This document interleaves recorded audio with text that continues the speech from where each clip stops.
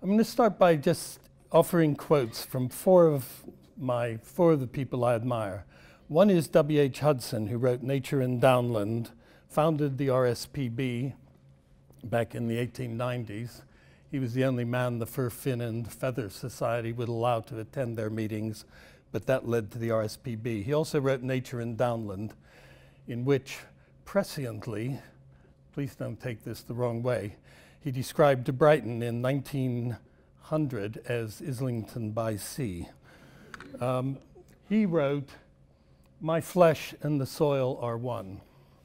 Lady Eve Balfour, who founded the Soil Association and wrote a book called Living Soil, wrote, The health of soil, plant, animal, and man are one and indivisible.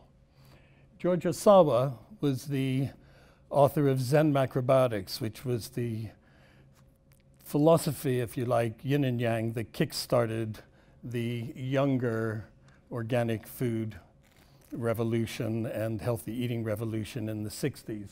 And he wrote, Our body and the soil are united. And Satish Kumar, who recently celebrated the 50th anniversary of Resurgence magazine, uh, based in Dartington, wrote, I propose a new trinity of soil, soul, and society. So, what were they saying? I mean, they're all saying basically, we are soil. Um, I want to sort of try and take an angle on this, looking at my own background. Uh, thanks for calling me a pioneer. And I'm a descendant of pioneers. And my uh, pioneer ancestor was someone called Lars Dugstad, who left a little village like that in Norway when he found out that his younger brother was going to inherit the farm. And so he thought, well, I'll go to America. They, they say there's lots of land there. And he ended up in Wisconsin on 80 acres, living in a brush shelter during the summer and a cave in the ground during the winter. And over 10 years, carved a farm out of wild country, cutting down trees, but trapping water and growing crops and eventually making money and eventually finding a bride in Chicago from who was originally from a village just next to his in Norway and farming. And then his son, my great grandfather ended up in Nebraska, which is where I was born. So they were all very proud of their pioneers. But I'd also like to quote Charles M. Russell, who was the cowboy artist who captured the Old West on canvas.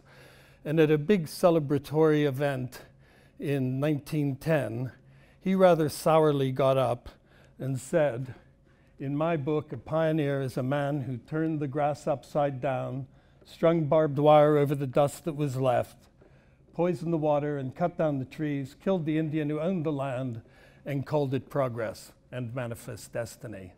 And he also added, I haven't put it up there, is if I had my way, none of you sons of bitches would ever come here in the first place. And I can claim credit for most of that pioneering stuff, but you know, at least my ancestors never killed any Indians. In fact, they got on fairly well with them, and our farm was right on the edge of the Winnebago Indian reservation, and my mother's high school regularly played them at football. Wendell Berry also tapped into what was going on in a very simple way. He said, We didn't know what we were doing because we didn't know what we were undoing. And that's really the essence. You know, people just took fertility and soil for granted. And they cut down the trees and they plowed away and it wasn't just in America. The same thing was happening on the pampas of Argentina. It was happening on the steppes of Ukraine and Kazakhstan, and it was happening in Manchuria and also in Australia, where huge amounts of wheat used to be grown until the fertility ran out.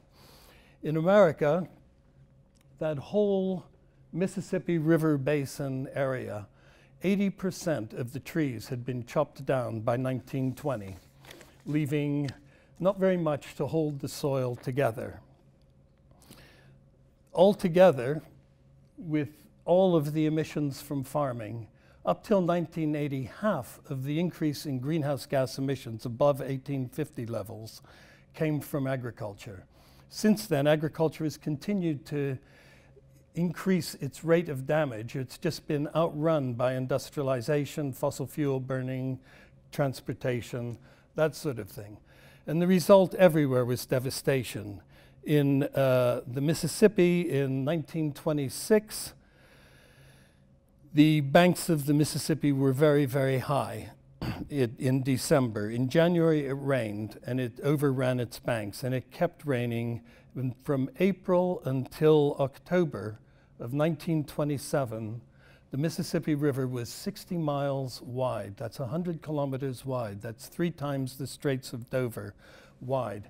It wiped out all those ex slave African American farmers who'd been given land after the, after the Civil War and created what's called in American history the Great Migration of African Americans from the South to the cities, Detroit, Chicago, and the North. As if that wasn't enough, a few years later, the soil had given out so much that we had the Dust Bowl. And vast clouds of dust. You know, my mother used an inhaler most of her life because she inhaled so much dust as a child. But vast clouds of dust destroyed the farms of thousands, tens of thousands, created a quarter of a million refugees from Oklahoma to California alone, of whom Steinbeck wrote in The Grapes of Wrath. Then you know, Roosevelt decided it's time to do something. So, despite the opposition of Congress, who thought he was some kind of communist, he employed three million men in the Civilian Conservation Corps who went out and planted 10 billion trees from Canada down to Texas to help to hold down the soil and try and restore in some way the damage that had been done. And it was it was effective, but when the price of grain went up during World War II, when Europe's battlefields replaced growing fields, food fields, arable fields, a lot of that got, the trees got taken down again because, you know, people wanted to grow wheat while they could.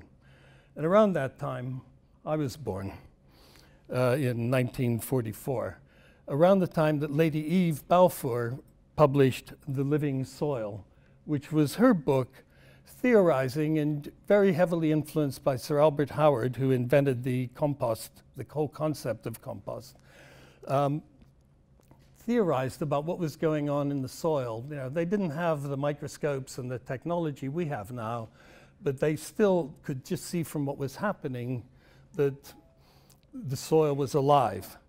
And meanwhile, in Peckham, a woman called Innes Pearse had established that if you took the poorest people in one of the poorest and most deprived neighborhoods of London and taught them how to eat properly, how to cook food, what nutrition was about, how to maintain basic levels of hygiene, that marital stability increased, kids did better in school, the, guy, the husbands stayed in their jobs and didn't leave, abandon their families.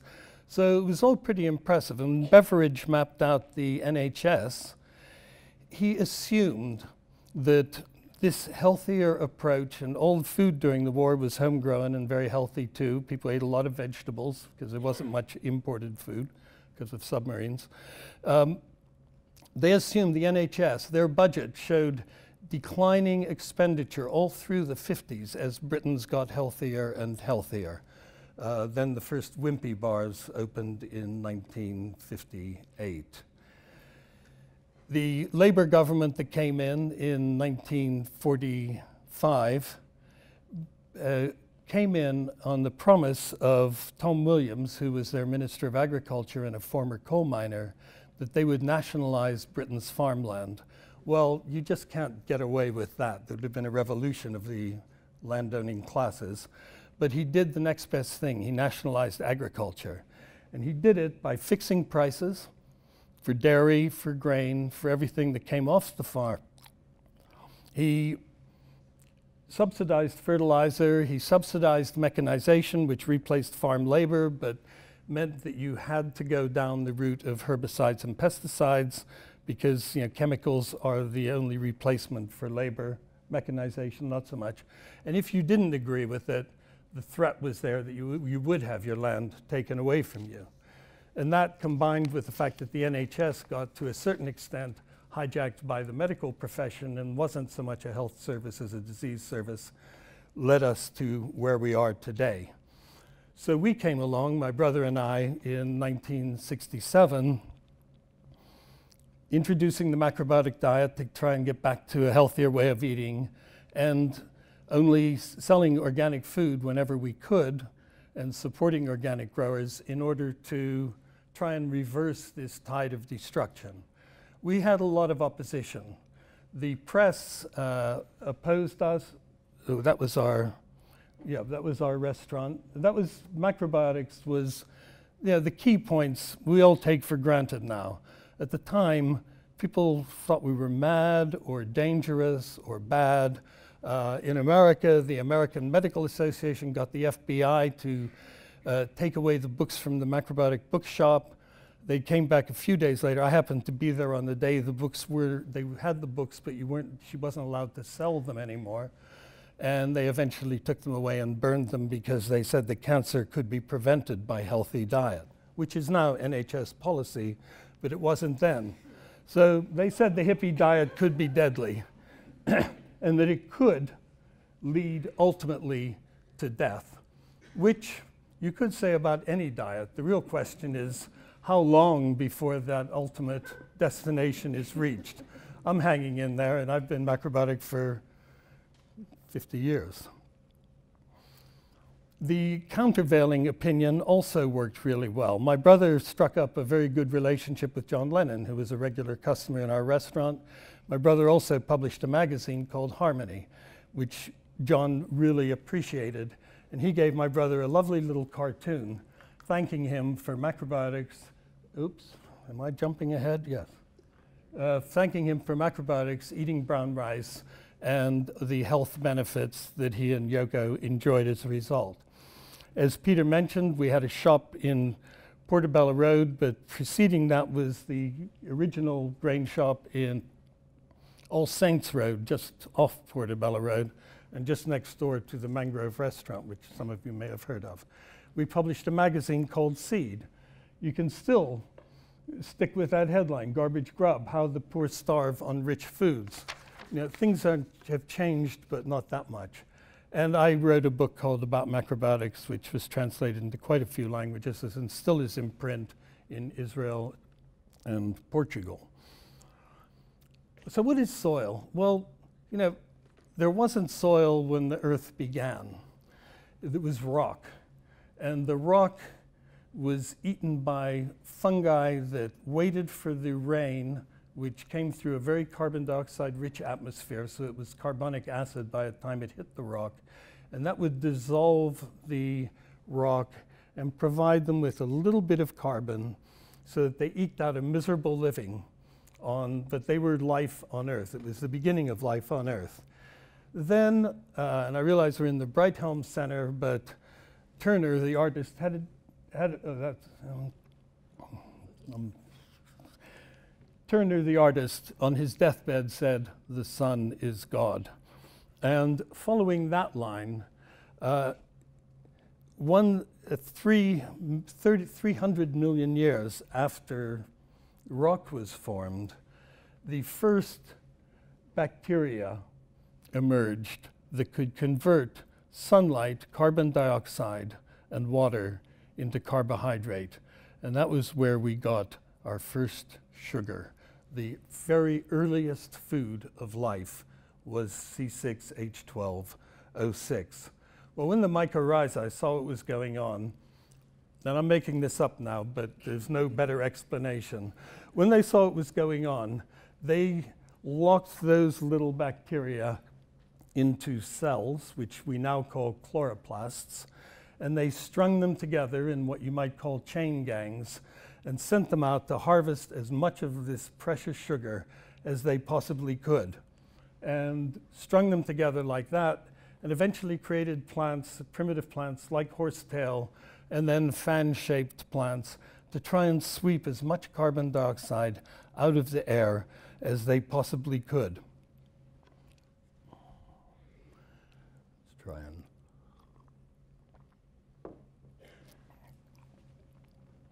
So the mycorrhizae then had these wonderful food gathering tools, plants as we call them, that sucked carbon dioxide out of the air, turned it into sugar, and then drip fed it to them through their roots. Mycorrhizae, these fungi, that dominate the undersoil world are called myco because that's fungus, rhizae because they cluster around the roots of the plant because if you're milking a cow, you don't cluster around the head, you cluster around the udders, and the roots for the mycorrhizae are where the sugar comes from. They're called arbuscular because they're tree-shaped. My, uh, arbuscular because they're tree-shaped, and vesicular because they have little vessels where they store sugar. So they don't want to just be drip-fed sugar and burn it right away. They stick it into these little vessels, and then they use it for whatever they need it for.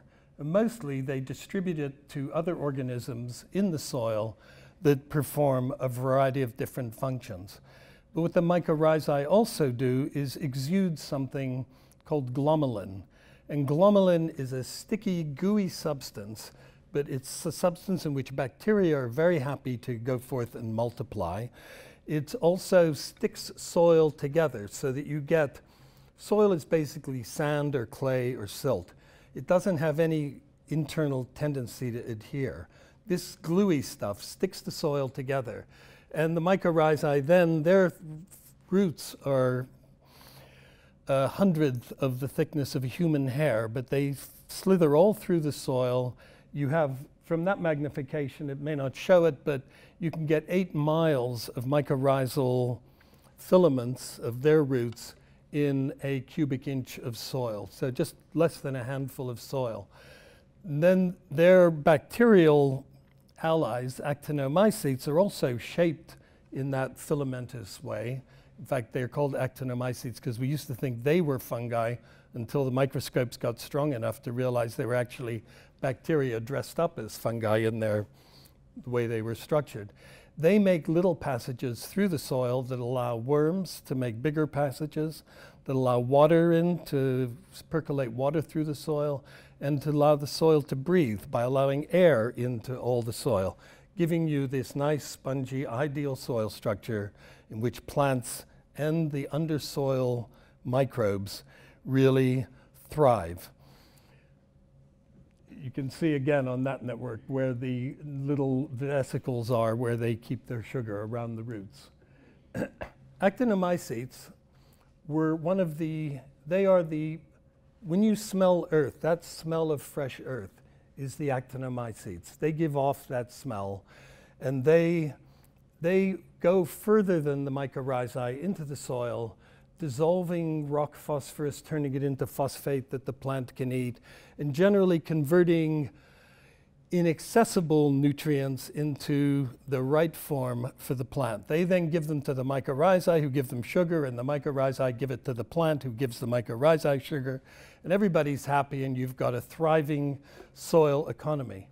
What actinomycetes also do is chase off intruders. And in fact, Actinomycin is an antibiotic that was made from actinomycetes. It was so powerful that they never used it because it killed too many of the people they tried it on. It killed the disease, but it killed the host as well. They found a weak form of actinomyces called streptomyces, and that's where streptomycin came from. And most of our antibiotics in medicine come from soil bacteria that have these powers those powers exist to repel pathogenic bacteria and fungi in the soil, to keep them away from this food supply. When a plant dies, then those pathogens are welcome to eat the dead bodies because that's otherwise we'd be up to our ears in dead plants. You know, they do need to decompose, but they keep them away from the living ones. What the mycorrhizae also do is trap nematodes. So the orange creatures there are worms about a millimeter long. And nematodes, some of them are good. Some of them eat bacteria and other things, which the mycorrhizae don't particularly want them to do. Some of them eat the roots of plants, which the mycorrhizae don't want them to do. So what the mycorrhizae do, and we know this from tomato growing, is they form little lassos. They fragrance the lasso with the smell of a tomato root. A little nematode is wiggling through the soil. It's blind, but it can smell tomato goes straight in. The mycorrhizae slam shut, and the filaments of the mycorrhizae go into the worm, take out all its protein. A lot of that is nitrogen that goes straight into the plant. That's an even more enhanced version or enlarged version of how they do it. So there's a lot, it's a jungle down there. They also produce jasmonic acid. That's a really powerful anti-pathogen substance. When you have a lot of mycorrhizae in the soil, it can increase jasmonic acid by 9%. So when a caterpillar comes along and eats a leaf, it, it tastes this jasmonic acid, it's revolted, and it pulls away. They produce salicylic acid, what we know as aspirin. Um, and what that does is also encourage what's called systemic resistance in plants. So that if one plant is producing salicylic acid, the neighboring plants also start to produce their defensive chemicals because they know something's out there that's wrong. And some of them, I just read this in the New Scientist this week, but it really intrigued me. Uh, oops, jumping ahead of myself again. Mimosa produces hydrogen sulfide. So when a cow or some animal comes to eat a mimosa, it produces this foul smelling aroma that we associate with human farting, and that repels whatever it is that's trying to eat the mimosa. These are the sensitive plants that also shrivel up in some varieties when they when we make antibiotics out of these soil organisms, they work, but the pathogens that they're designed to fight evolve beyond them. And that's why most of our antibiotics don't work. In the soil, it's very different. The, the resistance, the mycorrhizae and their biological or microbial allies stay ahead. They're constantly changing their DNA to stay ahead of whatever pathogen they're fighting. And that's where we have a problem with modern medicine and why antibiotics don't work is once we're stuck with an antibiotic, you know, nobody seems to be able to find any. Nobody's research isn't really finding them. There isn't that constant dynamic that keeps things healthy. So what happens, why, why, why do we have problems with soil? What kills off all of this activity? The basic problem is nitrate fertilizer. If you feed a plant NPK, sort of chemical fertilizer, the plant thinks, well, why am I pumping my hard-earned sugar in to feed these mycorrhizae when the farmer is giving me all these wonderful nutrients for free? All right, I may not be getting copper and zinc and a few trace elements, but the plant uses that sugar that it was giving to the mycorrhizae to grow itself bigger and the farmer gets a higher yield. In fact, half of that nitrogen is just washed away. And so the question is, do we really need nitrogen? Because you know, the agrochemical industry will say we do, even though it's leading directly to the destruction of all those soil benefits and the glomalin and everything else that I've been going on about. Of the 150 million tons of nitrogen that are created each year, only 50, one third, come from industrial nitrogen producing, which uses methane and a lot of fossil fuel energy to produce. A lot is just the land itself. The biology of healthy soils and land draws nitrogen out of the air. Forests and pasture and that sort of thing draws nitrogen out of the air. And lightning, when there's lightning, thunderstorms, the lightning converts immediately nitrogen in the air, it's 80% of our atmosphere, into nitrate that comes down in the rain and you get a nice flush of growth. But it's not like a permanent chemical injection. So we're losing our soil and we're losing it at quite a rate. The United Nations have said we have 60 years of farming left if we don't change. Uh, Volker Engelsman, who's uh, head of IFOAM, put it more succinctly, we're losing 39 football fields a minute. That's a lot of land to just go out of production, especially when we're worried about you know, population increases and pressure on food. About 1.8% of available land is degraded or disappears every year. Now, when it disappears, it's really hard, but you know, there's some amazing examples of virtual sand and desert being restored to vitality. So it's not too late. In 2004, people worrying about the future of agriculture got together and created the IAA-STD, the International Assessment of Agriculture, Science and Technology for Development. Monsanto, Syngenta, the US Department of Agriculture, the, our Ministry of Agriculture, the EU Department of Agriculture, academics, everybody with an interest in agriculture got together and selected the world's 400 best leading agronomists and agricultural scientists and said, figure out what we should do. They came out with their report in 2010. Two weeks before the report came out, Monsanto and Syngenta both said this is complete crap and rubbish. These people don't know what they're talking about. Don't pay any attention. The New Scientist had a two-page facing debate from the supporters and anti of the report. You can see why they said that because the report said subsidies are part of the problem, and that goes back to the 1947 Agriculture Act. The same thing happened all over the world. Green Revolution had unintended consequences that cannot be repaired with genetic engineering.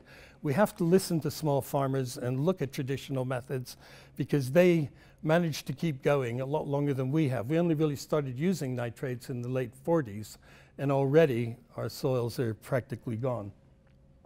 And reward farmers who prevent climate change. And that is really what I'm going to concentrate on next. I, you didn't mention this, Peter, am the first person to reward farmers who prevent climate change when I launched Whole Earth Cornflakes. And they were carbon neutral. They were the first carbon neutral food product.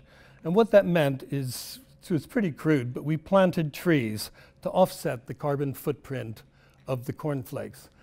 The future forests, the people who did that, who became the carbon neutral company, were rather disappointed when their research came back and they found that because the corn was organically grown, the increase in soil carbon by composting and building up organic matter in the soil almost completely offset all of the carbon involved in tractors and uh, shipping the corn to the factory to make the corn flakes and then the packaging and sending them to people like Infinity Foods and getting them to the ultimate consumer. And that was when the penny dropped for me that if, if, if people, if organic farmers got paid for the carbon they sequestered, and industrial farmers had to pay for all the greenhouse gas emissions that they were responsible for, the price of organic food would in many cases be cheaper than the cost of industrial produced food because the industrial producers are exporting a huge, terrible, threatening cost to us. So the question is, how can we reward carbon farming? An industrial farm uses 12 calories of fossil fuel to produce one calorie of food. An organic farm uses six calories. This isn't looking at sequestration because the organic farmer is then offsetting a lot of those emissions by putting carbon in the soil. A farmer with a hoe uses one calorie of their own energy to produce 20 calories of food. So in purely carbon dioxide or greenhouse gas terms, the farmer with a hoe is 240 times more efficient than the industrial farmer. And that, that's what is nub of the issue. And somewhere in with the ISDD said we have to listen to traditional farmers. Well, we don't want all our food to be grown by people with hoes. Um, it's not a very efficient use, and we've got better technologies now. Uh, the Rodale Institute in Pennsylvania, they're now in their 34th year of these trials, and they've shown that after the first few years when yields weren't that good, they've been consistent on yield. They they roughly used half as much fossil fuel energy to produce the food and they sequestered a ton per hectare of year of carbon, which is a huge offset. So you know, what it says is, again, you know, put a price on carbon and then see what happens. The Wall Street Journal picked up on the story and said, can organic farming uh, counteract carbon emissions? The Paris talks in the COP21, as it's called, um, was has covered everything. The Kyoto protocols, the predecessor 20 odd years ago, didn't include farming or transportation. It also didn't include very many countries. Europe complied. The Americans wouldn't do it because it was, they didn't like being dictated to by the rest of the world. And China and India said we're too small and poor. But so it never really took effect. This time, 150 or however many countries have signed up, and it covers everything. The French have initiated, oh, there we are. The French have initiated something called the Four per Thousand Initiative. Their agriculture minister said if we we could sequester all of the annual carbon emissions if we just increased the organic matter in the soil. This was the French have been plotting all for quite a while now to make sure that this climate conference isn't a failure, and they've been very successful. The French National Assembly said by law there will be a carbon price of at least 56 euros per ton. Well, that's more than it's ever been. You know, the highest it got in Europe with the carbon market was around 32 euros. So they're saying that's the floor price, but it can go higher if demand is there. And the mm, so they called it the four per thousand. Don't try and read that, please. It's just too, look at me. the four per thousand is they, the French Agronomic Research Institute said if you increase soil organic matter by 0.4%, that's four parts per thousand, every year, that will offset every year the anthropogenic greenhouse gas emissions. Well, that's not really hard to do. Rodale, we're doing about 1.5% a year, so it's not rocket science to achieve 0.4%, but it does mean some changes towards regenerative agriculture. The Regeneration International got on the case. They have the Organic Consumers Association in America, a million consumers. They're the ones who have finally pushed Monsanto into no longer blocking uh, genetic GMO labeling in American food. And I suppose you, most of you know this, Campbell's Soup have now said they are going to declare GMOs on all their products, which means in effect they're taking them out of all their products because they don't want not to sell them. And Vandana Shiva is their figurehead. And when you look at how much damage nitrates and industrial farming is doing, you also need to remember that most farming is not large scale industrial farming. Only 30% of the world's food is produced by industrial farmers, and most of them are totally helplessly dependent on subsidies. So much so that uh, my cousin Daniel, who farms in Iowa, and grows ethanol because nobody even wants the food he grows, grows GMO corn that gets converted into ethanol, said, I don't know what we'd do without ethanol. So there's plenty of land out there that could be used to grow food and grow it in a sensible way. And instead, we're subsidizing the people who are destroying our future. Small farmers in general are now getting on the bandwagon. The Fair World Project is one example of this. So small farmers realize that there's something in it for them on carbon. So are the big corporations. And Ceres, the lovely named organization of leading companies including Danone, Unilever, and General Mills have called for carbon pricing. They're happy to go down that road. General Mills have actually taken steps. You know, they own an organic company, Cascadian Farms, and they make Cheerios. They just announced a $100 million program, and they're going to convert 250,000 acres, 100,000 hectares of their supply chain into organic and their head of environment has said, you know, we have to do this for the reasons of climate and soil protection.